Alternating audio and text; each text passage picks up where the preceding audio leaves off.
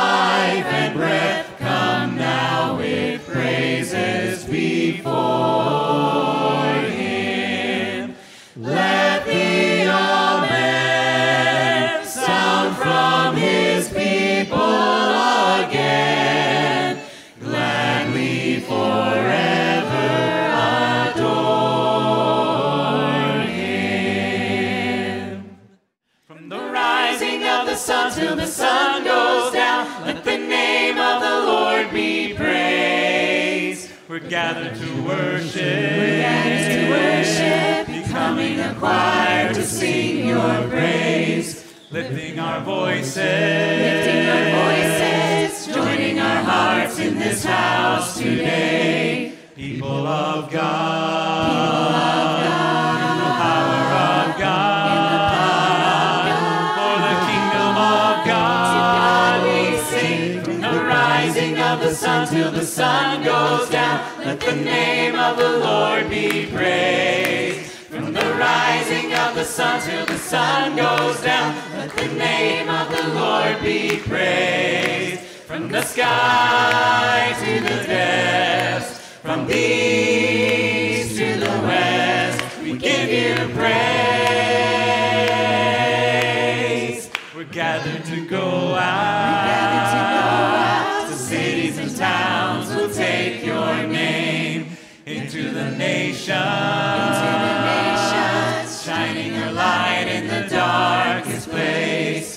People of God. In the power of God.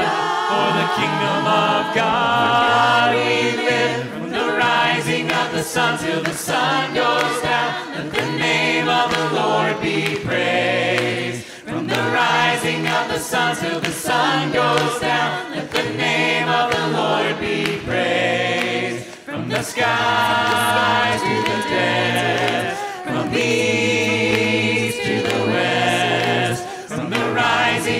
Sun till the sun goes down. Let the name of the Lord be praised. From the rising of the sun till the sun goes down. Let the name of the Lord be praised. From the sky to the depths. From the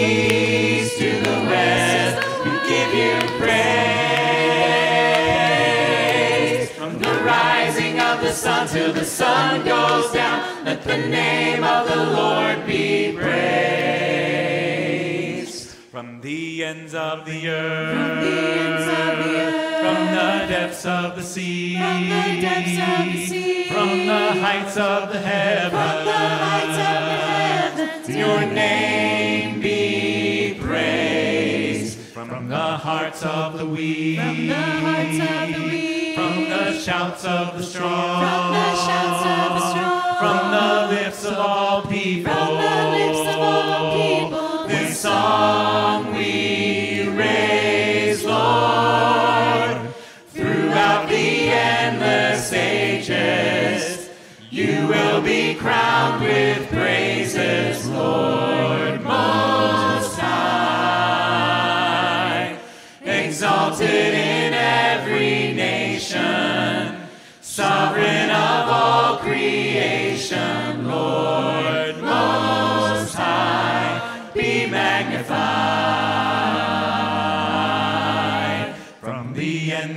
the earth, from the depths of the sea, From the depths of the sea. from the heights of the heavens. From the heights of the heavens. Your name be praised from the hearts of the weak, From the hearts of the weak. from the shouts of the strong, From the shouts of the strong. from the lips of all people.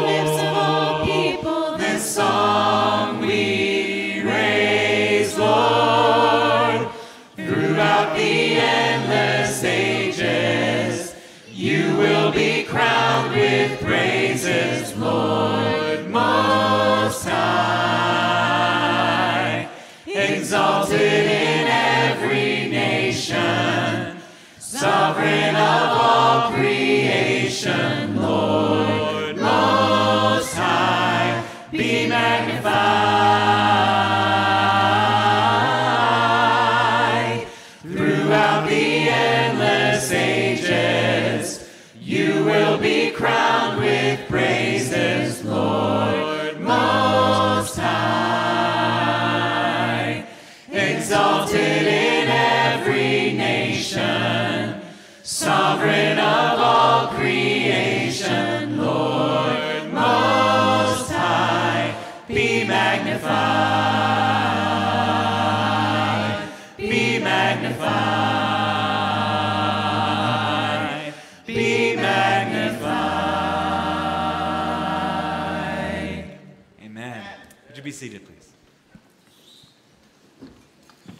Good morning, church. This is a very, very special Sunday. We have been anticipating this day for quite a while. You've probably heard some people talk about it. You've maybe seen uh, a sign or a social media post or two, uh, all leading us to this very important day. Of course, I am talking about John Hodges' birthday.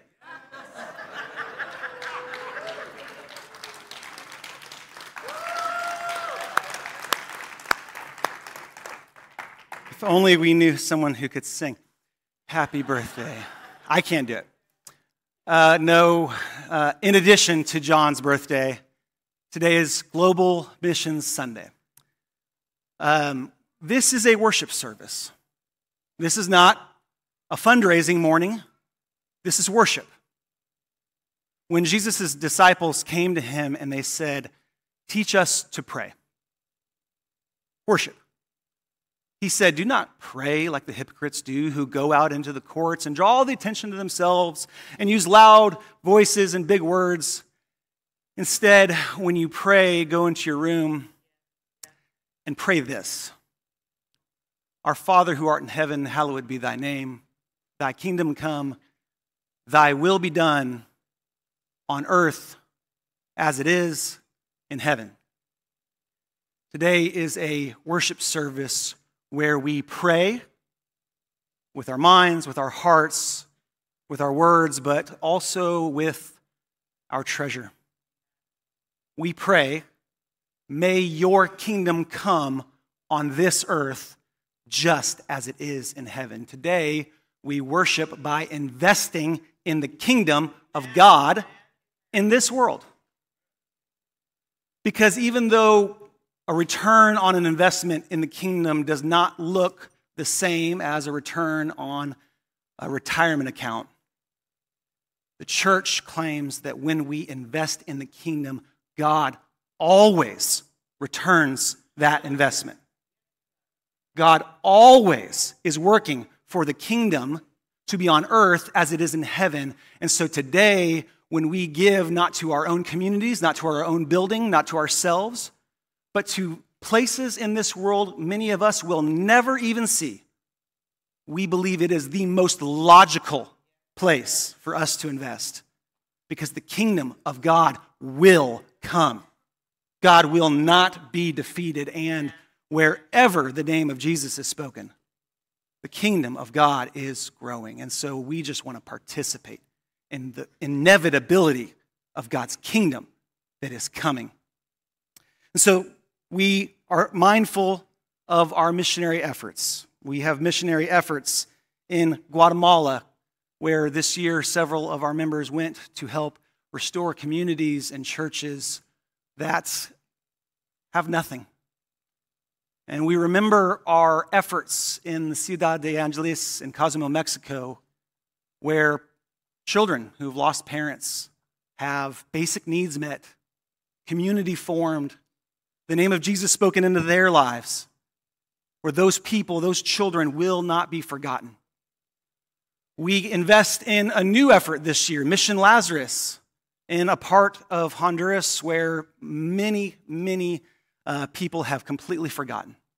I remember first meeting uh, Rebecca's brother, uh, Jared Robinson, like almost 15 years ago. And the, the idea around Nashville at that time was well, this guy's got a lot of energy and a lot of spunk, and he's got really high hopes, but let's see if he's still after it in a couple years. Well, that was 15 years later. And he is investing in the kingdom, and so we will invest in him because God's kingdom will not be defeated.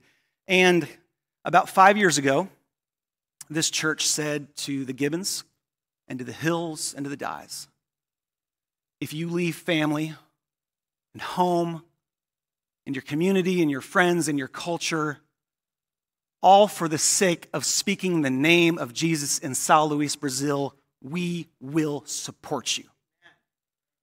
And today, we remember our covenant to them as it was to God that if they make that sacrifice, we will not forget their investment in the kingdom of God.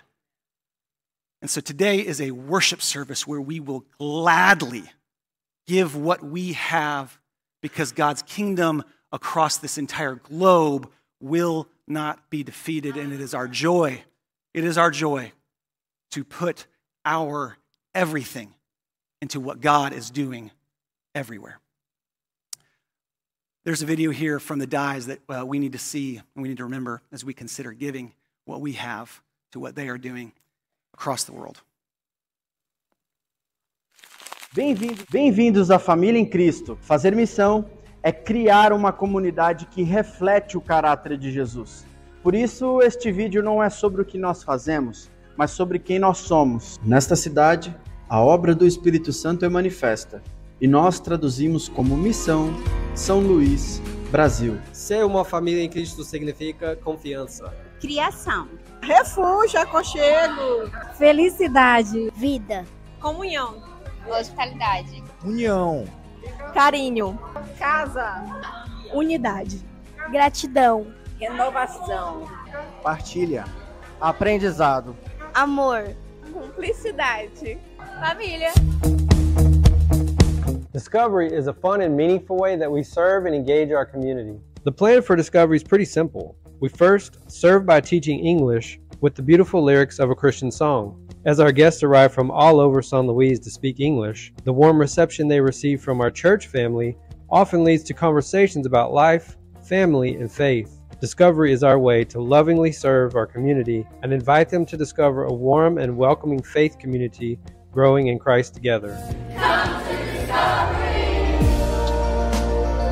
Growing together in Christ here at Familia em Cristo happens in our small groups and in our homes. Traditional small groups share moments together with studies, games, and food in a relaxed environment that deepen our relationships with members and visitors. Our men's and women's discipleship groups also meet weekly. In these groups, we commit to 25 weeks of learning, discussing, and practicing what it truly means to be a disciple of Christ.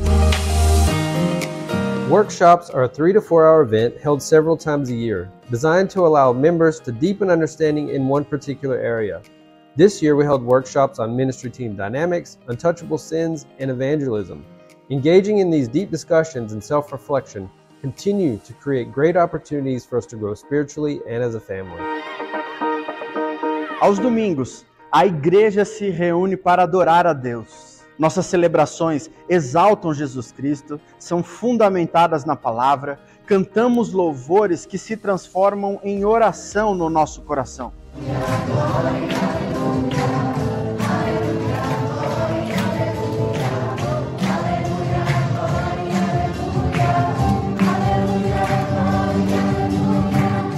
Nossas pregações são em séries. As últimas foram sobre o Evangelho de João e agora, atualmente, estudamos a carta de Paulo aos Romanos. Nossas celebrações são traduzidas em pessoas que amam a Deus, amam o próximo e desejam ser transformadas à imagem e semelhança de Cristo.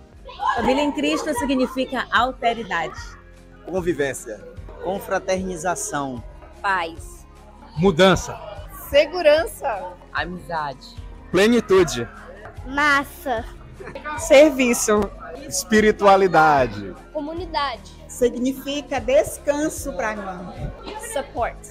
Generosidade.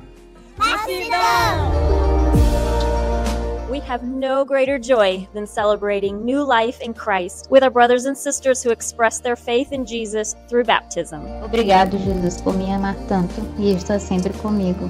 Amém.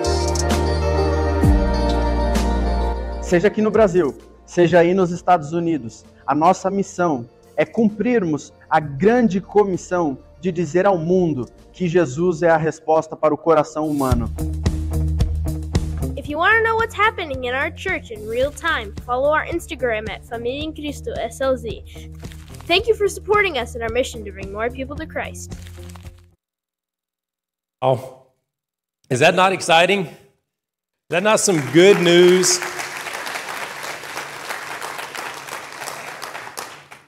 And it's just a small taste of what God is doing through Familia em Cristo in São Luís. There is so much more.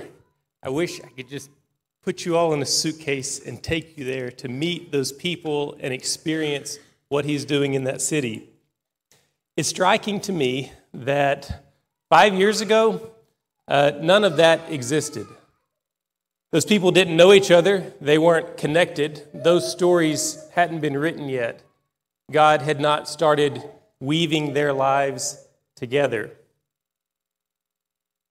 Global missions is about God doing more than we could ever imagine. I remember sitting in a training meeting and they asked us, So, which one of you guys is going to preach on Sunday mornings when you open up? And we said, I, don't know. Uh, our prayer is that God will provide, uh, or maybe one of us will do it. And they said, Okay, well, who's going to be the song leader? And we said, Definitely God is going to have to provide on that one. and He did so much more. So much more. Uh, today, like David said, we're celebrating our global mission efforts. We're going to get a chance to give to those global mission efforts. Um, the kids are going to get a chance, and you're going to see them. They're going to run down and they're going to chunk their money in the bucket with smiles on their face, and they're going to be giving high fives. They're going to be singing, like I think it was Jasper this morning, loud and proud and with all that they have. And as adults, we're going to get to do the same, probably in our more uh, reserved way. Uh, but I'm not asking you this morning to pensively consider how you can participate in these global mission efforts. I'm asking you to, even if it's not outwardly expressed, to give with a high five and a big smile attitude with the joy that David talked about because we get to, we have the privilege of participating with God on what He's doing in lots of different places across the globe.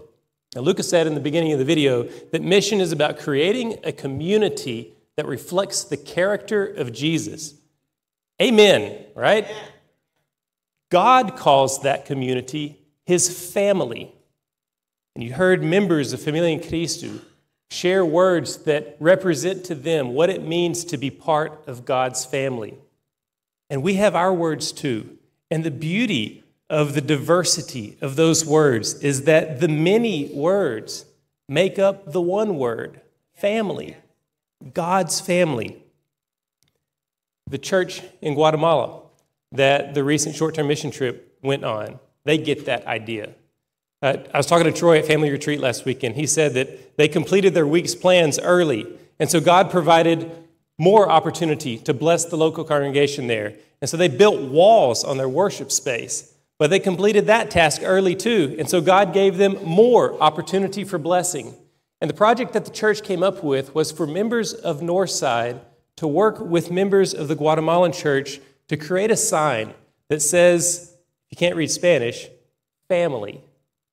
They wanted their local family to be represented by hands of their Guatemalan brothers and sisters next to our Northside members' hands on a single sign that communicates what's important to them and what's important to God family. And so our hands are next to their hands on their local church. That is what God does through global mission efforts. More than we can imagine. More to propagate this idea of unity and the many forming one family. And so it is our privilege to get to participate in that this morning. Northside has been involved in global missions for decades, supporting long term missions like Fortaleza and now São Luís in Brazil, countless short term missions to, I can't even remember, Ukraine and Burkina Faso and Mexico and Guatemala and now Honduras, and I'm sure there's lots of others that I've forgotten about. The question is where will we go next? Where will He send us next to experience His more? My prayer this morning is that this family just continues to go. Thank you. We are here to worship our Lord this morning. I know that all of us have noise in the background of our brains. There are a lot of things going on in the world that command our attention, that focus us on things that are not always what they should be on. We're talking to God this morning, our Father, and I ask that every one of you make every effort you can to remove the noise and the busyness. Let's focus on who we are as the family of God. You'll pray with me. Almighty God, we approach you today both fearful because you are the God of creation. You spoke the universe into existence. We will never comprehend the mysteries of what you did in creation. You made us in your likeness. And we will never understand all of the mysteries associated with that. You sent Jesus Christ, your Son, to live among us, to take on each one of our sins. Lord Jesus, you took my sins that I continue to make. And you clothed me, you clothed this family in righteousness' sake. Father, we come before you this morning because we are grateful for that life we will have with you. We're grateful for your kingdom. Father, we recognize that we approach you through Jesus Christ, and that's the good news, not just to us, but to a world, a world that needs it. Help us to truly believe the power of being in Jesus Christ as the way to our Father. And whether it is here in our, our city or in our families, or today as we look at this large world, that we will be so encouraged and energized to share that good news. Father, we're grateful for this church family, uh, its generosity. There are so many things we're grateful for in this family, but the generosity continues to be amazing. And Father, may each of us go back and when we're praying alone in our rooms or in our closets and asking for your Spirit to lead us, that we will continue to show that generosity. We want the kingdom to be fulfilled here on this earth. And Father, our prayer is that every knee in the world will come to recognize you as God, the Creator, the Father, that we will all fall before you in amazement and in gratitude. Lord Jesus, please share this prayer. Lord God, that you will see us as your righteous children and smile upon us. Amen. Mighty is our God, mighty is our King, mighty is our Lord, He's ruler of everything. Glory to our God, glory to our King, glory to our Lord, He's ruler of everything. His name is higher, higher than any other name. His power is greater, for he is created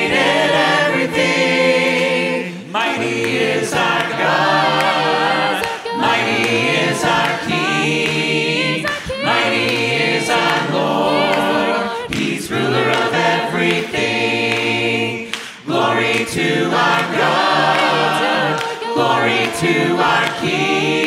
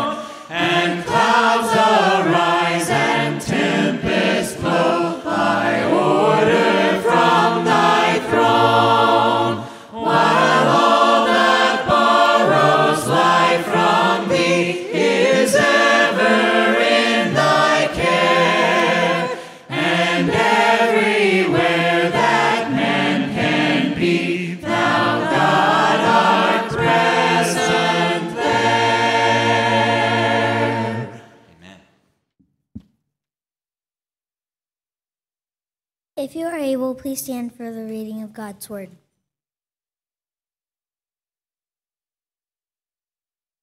I will be reading Exodus chapter 7, 8 through 13.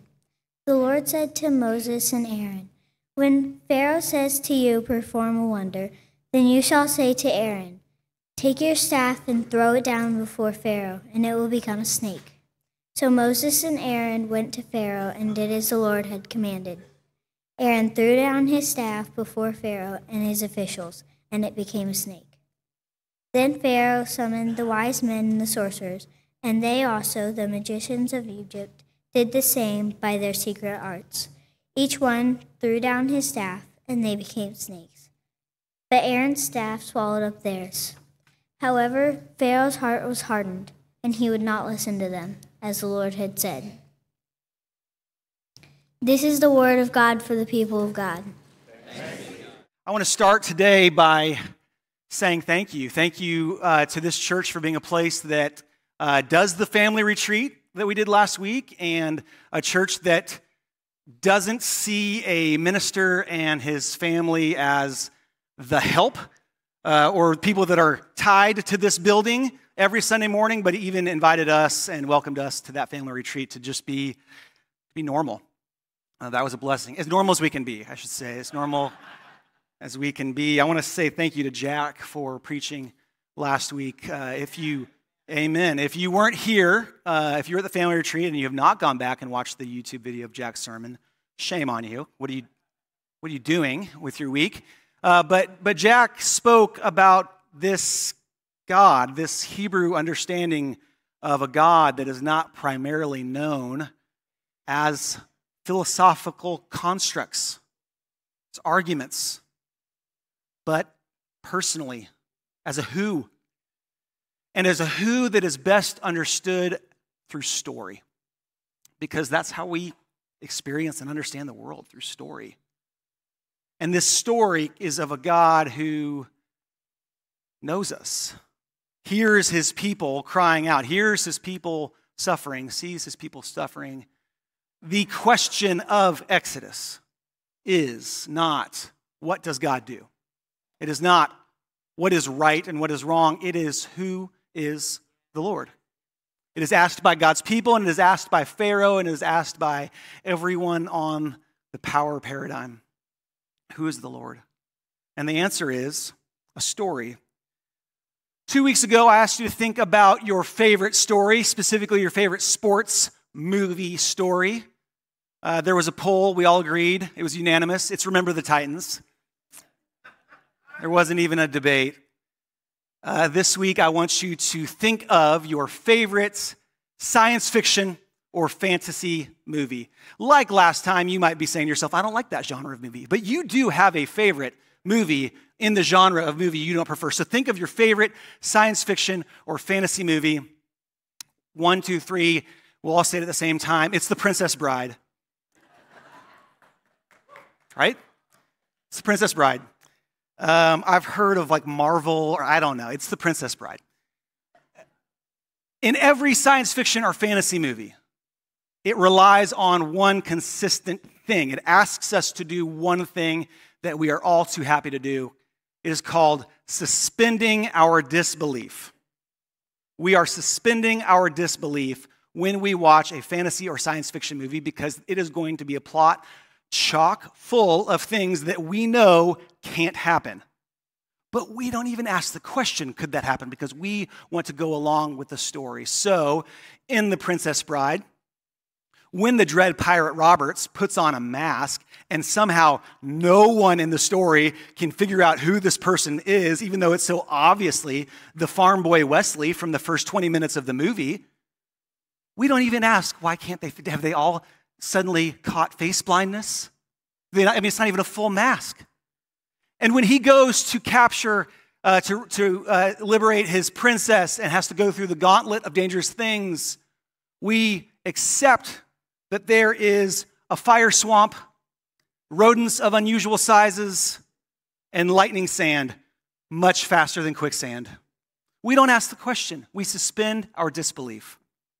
This morning, to really understand this story of Exodus, we have to do the opposite. We have to suspend our belief.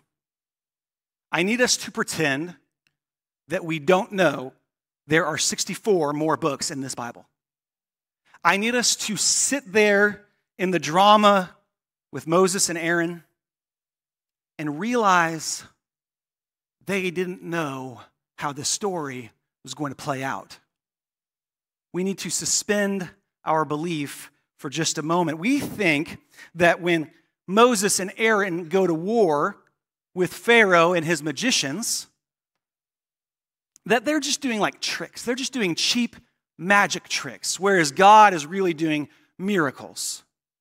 But that's not really how the story is told. The story is told in such a way that Egypt's primary export to the world at this time is magicians and magic. It's what they do better than anyone else. And magicians is kind of even cheap. When Pharaoh pulls out his, his attendants, they are soothsayers, sages, magicians. Pharaoh calls out a full army of attendants that do magic and it's not telling us in the text, well, they're just doing little cheap tricks. No, no, no, no. They seem to be able to match God's works. For a moment, if we can just suspend our belief, we will see how terrifying it must have been in that moment when Moses and Aaron throw down the staff, because this has been their thing so far. Twice before, they have thrown down the staff, and people have gone, oh, as it becomes a snake. The power of God must be here. This was like their, their ace up the sleeve. But this time they throw down the snake, throw down the staff, and it becomes a snake. And then an army of Pharaoh's attendants come out and do the exact same thing. Yes, Aaron's staff swallows the other snakes. But what would that moment feel like? Well, there's a beat, there's a rhythm to this story. It's going to become predictable. It's going to become rhythmic. Beat one, God sends Moses and Aaron to demand Pharaoh let the people go. Beat two, Pharaoh says, I don't think so. Beat three, God tells Aaron to hold out his staff and do something amazing, remarkable, magical, powerful. And through God's power, that staff does something shocking. Beat four Pharaoh's magicians do the same thing. I need us to pretend for a moment that we don't know there are eight more plagues to come. What does it feel like right there in Pharaoh's palace? As God's power is met. Well, in fear, God sends Moses and Aaron back to Pharaoh a second time after, after the snake to staff incident. This time, they're to go meet him down by the Nile. The Nile is godlike to the Egyptians. It's the reason why they have survived world famine after world famine after world famine. It is the very emblem of their world power. Pharaoh, maybe he goes down to check the water levels, maybe he goes down to worship it, but they meet him there. And they say, Let our people go, beat one. Pharaoh says, Beat two. No, I don't think so. Beat three, God says to Moses, God says to Moses and Aaron, Aaron, hold up your staff over the Nile River. And then the Nile River turns to blood. Pharaoh's God dies and all of the animals, all of the life that lived there in Pharaoh's God, it starts to die too. And the country, the land, stinks of death. And then, beat four, the magicians come out, the soothsayers, the sages, and they do the same thing. It's terrifying. So far, the power of God has begun to wake up it's begun to claim its place. It's begun to challenge the world's most powerful person, the person who claims to be a god and no one even laughs or snickers. But so far, the power of Pharaoh continues to dominate. It matches everything God has been able to do. The one who has enslaved God's people, the one who has made their lives harder by now saying, You make your own bricks, the one who has tortured them. His power just feels so close. It's just so undeniable. It makes me wonder what kind of powers are undeniable to us. What kind of powers are just so near to us that we can't deny it? Uh, I have to take 281 South every day to get to work. I am convinced of the power of the Bexar County Sheriff Department.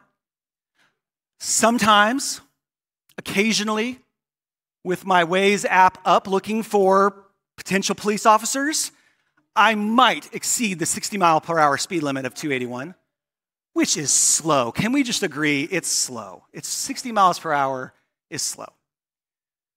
Um, but when I see that police icon on my Waze app, I slow down because I believe in their power to pull me over. I'm not suggesting they're abusing their power. If I'm caught speeding, I deserve a ticket. But I don't ever question their power over me. It's real, it's there, it's near. I don't question the power of the United States military. I'm not even going to criticize the United States military. Don't worry. But as the war in Ukraine looks like it's going to reach at least 20 months long, maybe two years long, and as I read articles and I try to see at least some of the suffering that is happening in this world, I kind of feel bad of how comforted I feel by the power of the United States military. I know that that war will not reach our shores. I know, I believe that our children will not be drafted into service against their will. I feel strange to say, but I feel comfort in that power in its nearness.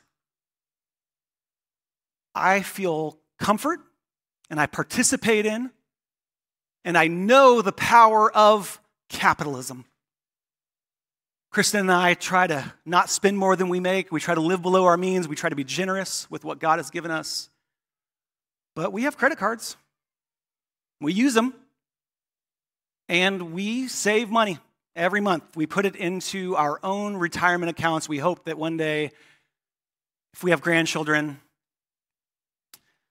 uh, that we would get to travel to see them, to be with them, that we would get to retire one day. Every month, we participate in, we invest in the power of capitalism and the free market that is near to us. And again, I'm not criticizing it. I'm not trying to take a cheap shot. I'm certainly not suggesting that our civil servants and the US military and that capitalism is the same as Pharaoh. It's not. They are not explicitly anti God. They are also not God. And sometimes I have to take a breath and check myself and ask myself Have I become seduced by the powers?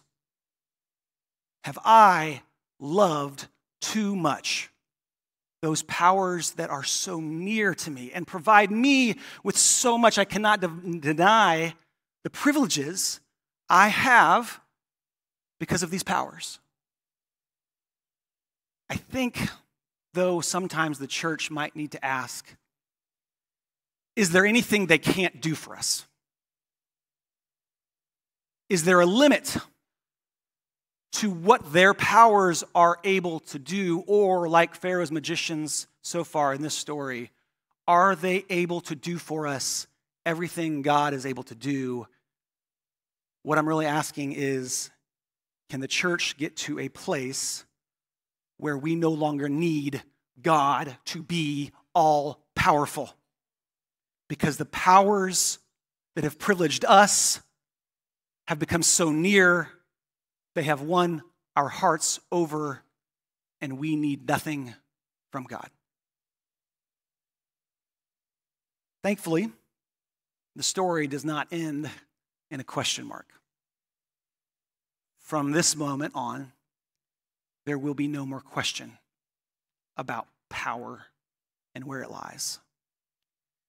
The story thankfully moves on, and there is a third plague.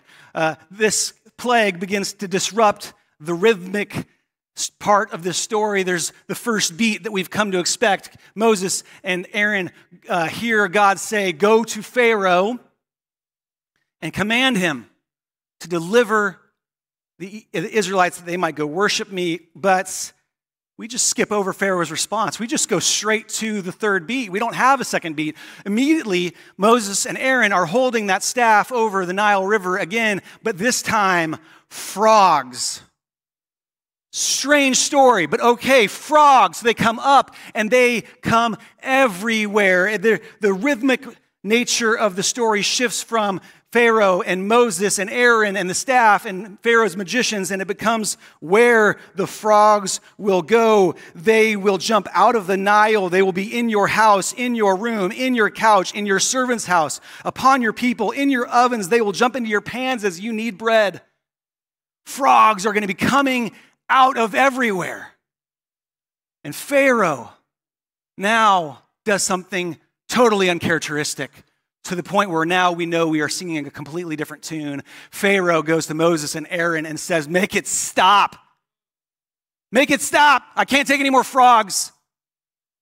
Moses says to Aaron, Moses and Aaron say to Pharaoh, Tell us when you want it to stop. And he says, As soon as possible. And they say, Tomorrow morning the frogs will begin to die. And they do. And the stench of death again, like a herald of what is to come, becomes bearable. And then Pharaoh hardens his heart. And then the Lord said to Moses, Say to Aaron, stretch out your staff and strike the dust of the land, and there will be lice in all of the land of Egypt. And thus they did. And Aaron stretched out his hand with his staff and struck the dust of the land. And there was lice in man and in beast. All the dust of the land became lice in the land of Egypt. And the magicians of Egypt did with their spells to take away the lice. But they were unable. And they said to Pharaoh, God's finger it is. Pharaoh begins this part of the story by asking, Who is the Lord that I should be afraid of him? And today, his question receives its answer, but it does not come from the mouth of Moses and Aaron. It does not come from the mouth of the Hebrew slaves. It comes from the mouth of his own power. His soothsayers and sages and magicians, they say to Pharaoh, God's finger it is because God is powerful. We are unable to do it. God's finger it is. They say, Pharaoh, this God is a power you haven't even imagined yet. The spell has been broken. The reality runs forth. It, it, it jumps forth like lice from that place. It bounces to the four wall, the four corners of Egypt, and it reaches the slums, the hovels, the dark places where there is no comfort, where the Israelites live. And they spread the good news that Pharaoh's power has been checked. And they stop making bricks. And they stop gathering straw. And they say, We're not going to work for him anymore. I wonder what they began doing with their time. I bet they spent some time with their children. I'll bet they walked out of their door and reintroduced themselves to their neighbor. I bet they began building community again. I bet they rested from all of their hard work because the power of Pharaoh has been checked. And the power of Pharaoh will never again match or even come close to matching the power of God because for once, the power of Pharaoh is unable to match God's power. From this point on, the magicians of Pharaoh will never again come close to threatening God. It will be sign after sign uh, plague after plague, and Pharaoh again and again will ask to be relented from the suffering and then harden his heart. And then ask for, for forgiveness and then harden his heart. And so I want us to give ourselves permission here to stop our experiment. I want to give us permission to no longer suspend our belief, but not just now. The church must be the people that believe always in the power of God, the all powerful name of God, because sometimes there are other powers that compete for our attention and our affections. And we think that we always believe what we believe, but sometimes we do suspend our belief. The church has to be the people that believe in the power of God, and belief is not just a cognitive exercise, it is work, it is actions, it is community building, it is rest, often active rest. It is investing in the power of the kingdom of God because we believe one day it will be the only kingdom. Pharaoh will not restore communities and churches in Guatemala. Pharaoh will not care for children who have lost their parents in Cozumel, Mexico. Pharaoh cares nothing about the forgotten people of Choluteca, Honduras. And Pharaoh will not speak the name of Jesus in São Luís, Brazil. Pharaoh's magicians can do a lot of things. They can, fe- they can create fear, they can abuse, they can coerce. But there is so much they can't do. They cannot build community, they cannot restore they can abuse creational goodness, but they cannot practice justice, which is to do what God did in creation, that all creation would flourish. They can't do justice. Pharaoh's magicians can make us work, they can't lead us to rest. And so we remember the Dyes in São Luís, Brazil. We remember what is happening in Guatemala and Mexico and Honduras because of all that Pharaoh can't do, because of all that we believe the power of God will do. Today, we invest not in ourselves, not in our own retirement accounts, not even in our own communities, but we invest in communities across the world that many of us will never see. Why? Because it makes sense if we believe. Because the most logical thing to do because even though Pharaoh's power is often so near, we have to be the ones to remember all that it can't do. It can't save us, it can't restore communities, it cannot create communities of justice and love. Only the power of God can do that. And so today, today we invest in the kingdom of God in San Antonio, São Luís, and in Honduras, and in Mexico because just like the power of God reigned in Egypt as the very ground Pharaoh stood on shook and become lice, we claim that God is going to establish kingdom in those places. And in this place, just like heaven. We invest in the kingdom of God because of all the power of God can do. The church does not merely speak about what God does, we invest in what God does. Power of God shows up in strange places. Today, our last thought will be the way the power of God shows up in an ordinary table. invite us now to this table of mercy, table of love, a table of great power. Pharaoh can kill, or maybe we should say King Herod can kill, Pilate can kill, the religious authorities can kill. But all these people can't resurrect. They cannot bring dead men back to life. They cannot make communities of diverse people who all claim power of God's kingdom. So at this table, I want us to ask who gives you life? Where do you get the really good things in life? Pharaoh's powers are close and undeniable and often comforting.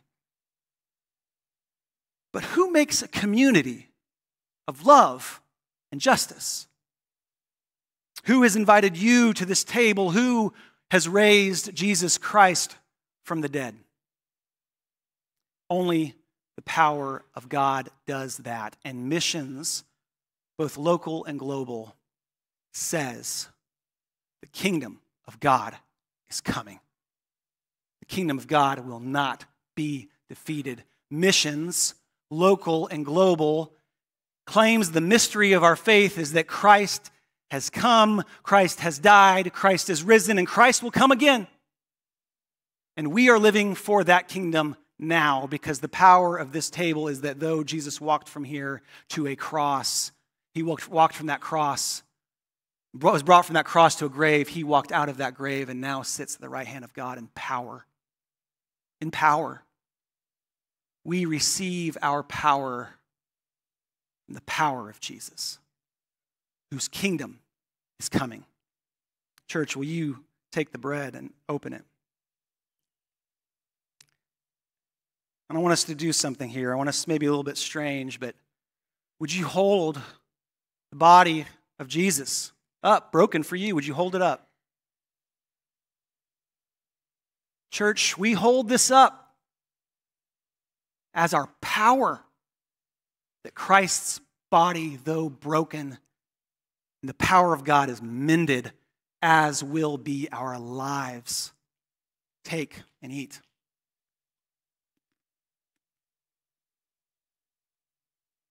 Church, would you hold up the cup?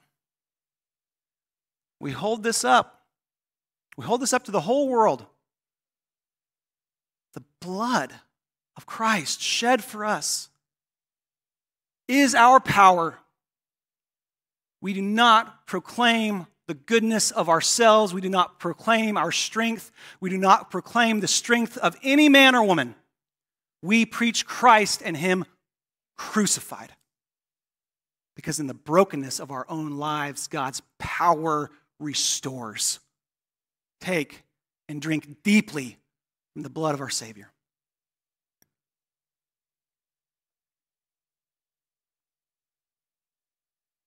May the power of our Lord Jesus Christ go with you this week wherever he may send you. May he guide you in the wilderness. May he protect you in the storm. May he bring you home rejoicing once again from all he has shown you. May he bring you home rejoicing once again to these doors. Everyone needs compassion, love that's never failing. Let mercy fall on me. Everyone needs forgiveness, the kindness of a Savior, the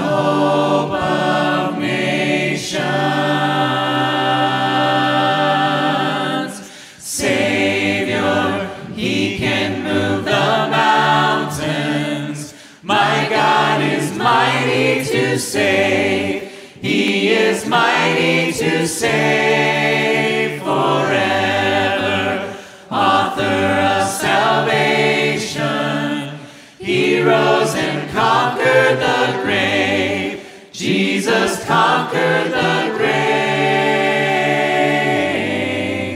So take me as you find me. All my fears and failures.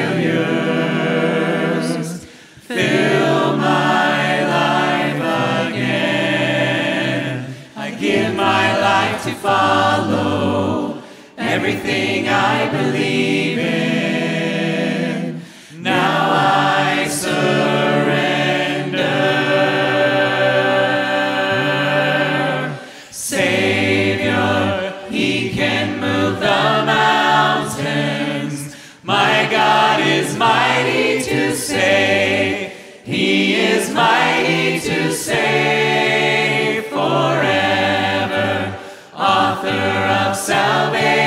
He rose rose and conquered the grave.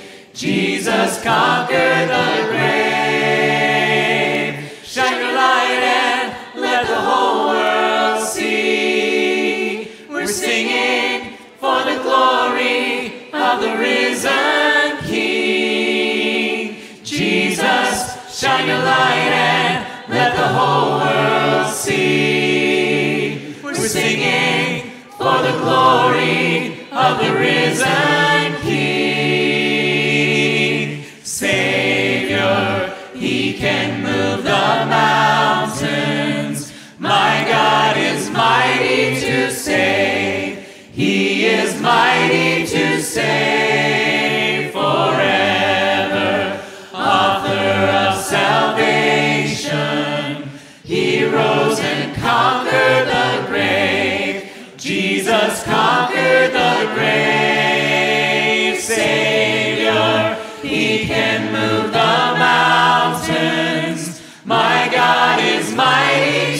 save. He is mighty to save forever. Author of salvation, He rose and conquered the grave. Jesus conquered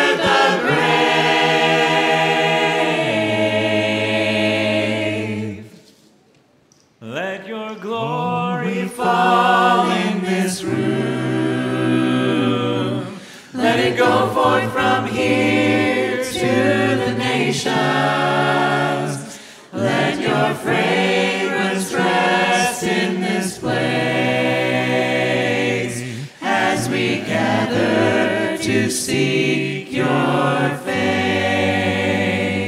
Let your glory fall in this room. Let it go forth from here to the nations. Let your fragrance rest in this place as we gather to seek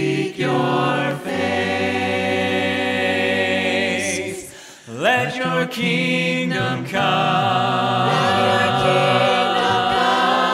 Let your will be done. Let your will be done. Let us see on earth. Let us see on earth the glory of your Son.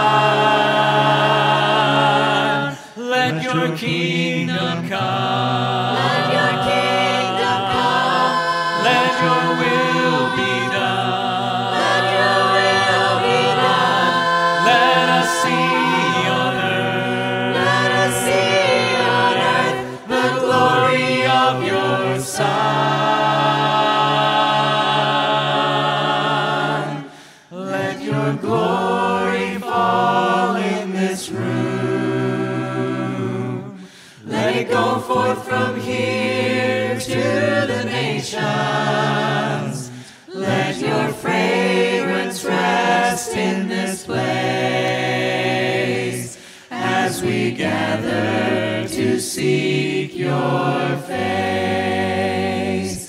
As we gather to seek your face.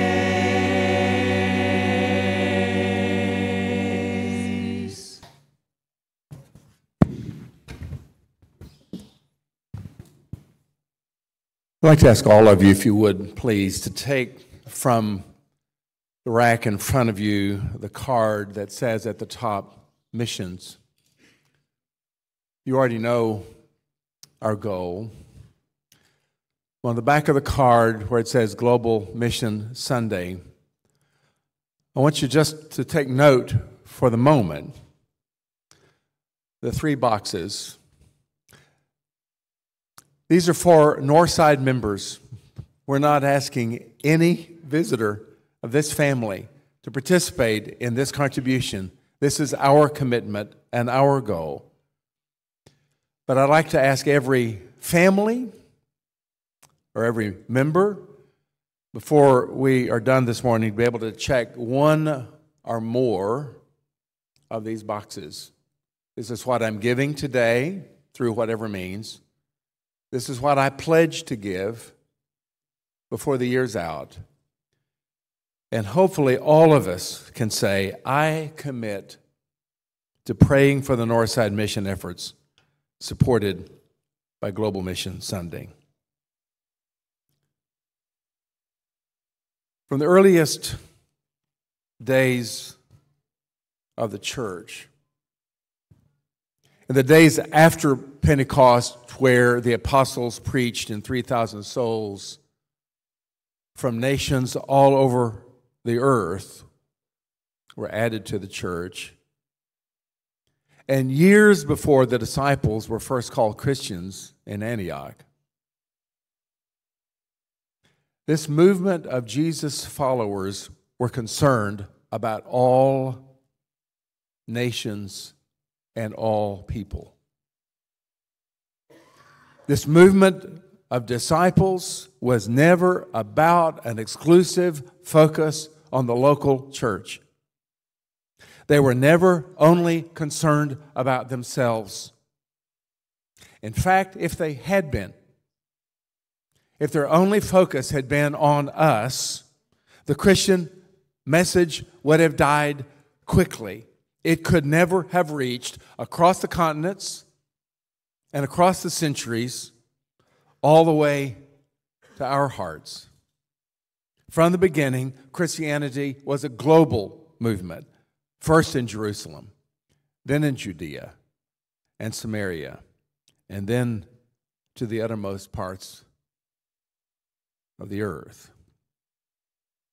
Northside has always been that kind of church, all the way to its beginning. This is the story of our church family. It is in our spiritual DNA. We have always been aware of the working of God, both in the neighborhoods near us and in places far away. We have always been visionary in joining God's work wherever we could. Because of it, many lives have been changed and many people have come to Jesus. Today is the day that we ensure that the commitments we have made around the world to the ongoing mission work of our team in São Luís, Brazil, to the short term mission efforts in Mexico, in Honduras, and in Guatemala will not just continue, but will thrive. I'm going to ask uh, the shepherds and ministers and whatever spouses may be here that will want to help to come to the front. And there are baskets here on each corner. If you will come and be making your way and grab a basket and hang here with me for just a second. Come and grab one or more of these baskets, and you will have to figure out what aisle you want to walk down. Because we haven't practiced this. We have not rehearsed this part. But in just a moment, they're going to go, while we show a slide presentation, we're going to go and, and walk through the aisles. And if you want to pass your card, whatever you want to write on that card, write it, sign your name for yourself or your family. I suggest you fold it and either pass it to the end of the row or the baskets will be passed down the row and the cards will be picked up and let me ask you, Tom, can you remember this? When, when you, Laura, if you'll help Tom remember, when, when you're done, Lisa is at the back of, the, of uh, uh, our worship center, and we're just going to dump what's in your baskets into that bag, and then your work will be done. Let me say this one final thing, and then I'm going to ask you during our slide presentation to walk through these aisles and to pick up uh, the cards uh, as our members complete them. Paul told the Christians in Rome, We do not live for ourselves, and we do not die for ourselves. If we live, we live to the Lord. We are in a position today to fund the work that touches the lives of those who would not be touched if we only lived for ourselves. Shall we be in prayer and concern and awareness of the power and the working of God in the world as we make our pledges or our statement of what we are giving today. Um, if you have a check, don't put it in the basket, put it in the receptacles at the back of the room. You know the other ways that you can give, and there's a QR code if anyone needs to to give electronically today. Let's take a few moments and have these baskets pass through our worship center uh, as we continue our time of worship.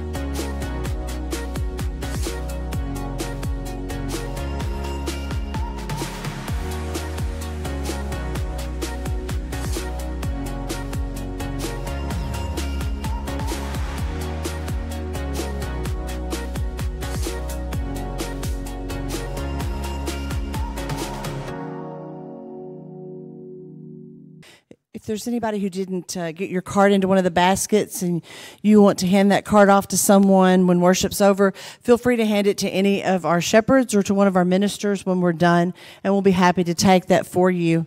Uh, this morning, uh, it's our first Sunday, so our kiddos are in here, and normally the change in money that goes in our bucket goes to one of our local missions. But this morning, as part of teaching our children that it's not just about giving locally, but it is about giving globally, um, everything we collect in this bucket will also go to, to our Global Mission Sunday, and we will be adding to that as well. So we want our kids to know it's not just about what's at home, but it's about all these kids that they've seen on these videos this morning.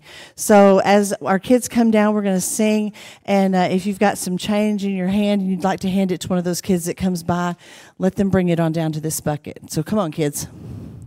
He's got the whole world in his hands. He's got the whole world in his hands.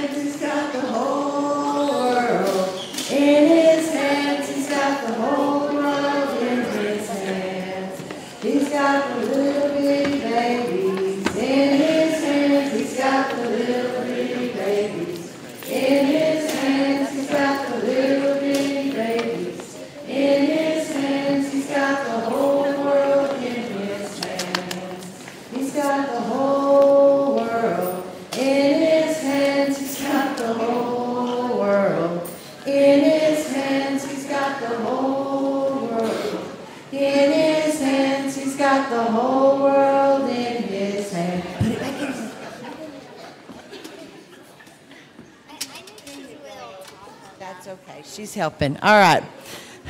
Thank you, everybody. What an incredible morning this has been. Is this just been amazing? Thank you so much for your generous hearts, your generous giving as we work toward getting out into this world and being the hands and feet of Jesus, not just here, but everywhere. Uh, just a reminder that uh, we want you to stick around at 10 o'clock, 10.30. It's after 10. 10.30. For our Bible classes, we have adult Bible classes in several rooms, some downstairs, some upstairs, and we have Bible classes for our children ages birth all the way up through high school. So if you need help finding a class and you're visiting with us, grab one of us. We're happy to show you where a class is. And one last reminder that ladies, today is the deadline to sign up for the ladies retreat. Uh, out in the atrium, there's a table. If you haven't signed up for the ladies retreat, stop by that table. Let's stand for our last song. May our homes be filled with dancing. May our homes be filled with dancing. May our streets be filled with joy. May our streets be filled with joy.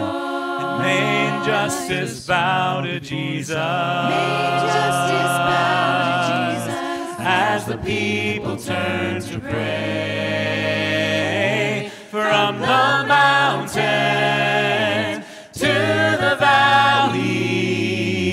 Hear our praises.